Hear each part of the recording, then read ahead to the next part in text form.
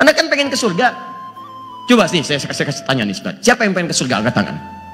Yang pengen ke surga, angkat tangan. Tuh, surga Firdaus. Bersama Nabi. Nah, surga disandingkan dengan ujian, dengan masalah. Di ketika Allah kirimkan ujian, itu untuk mempercepat doa Anda supaya cepat ke surga. Karena sifat ujian bersanding dengan sabar. Orang sabar dekat dengan Allah. Inna Allah ma'asabirin. Dekat dengan Allah ke surga. Salamun alaikum bima sabartum. Kenapa ketika Anda diberikan apa yang Anda inginkan, Anda mengeluh.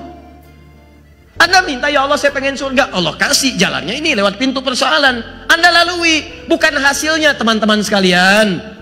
Bukan akhirnya Ferguson. Tapi prosesnya. Proses yang dilihat setiap ada proses di situ turun pahala. Jadi begitu Anda lalui, pahala datang. Lalui, pahala datang. Itu yang mengakumulasikan Anda cepat masuk ke surga. Itu poinnya.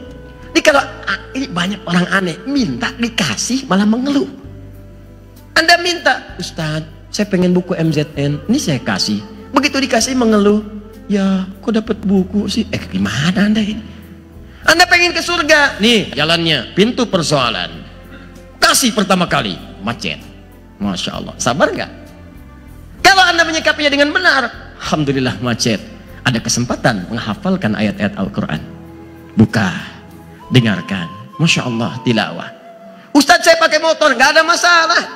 Bapaknya Muad yang di Mesir, fasilitasi anaknya. Empat tahun, mata nggak bisa lihat. Talaki Al-Quran. Pada Syekh 20 kilo dari rumahnya, modifikasi motor-motornya. Itu motor luar biasa. Motor lama dimodifikasi. Dashboardnya dibuka agak lebar. Disimpan ayat-ayat Quran. Di sepanjang jalan bapaknya baca, anaknya dengar.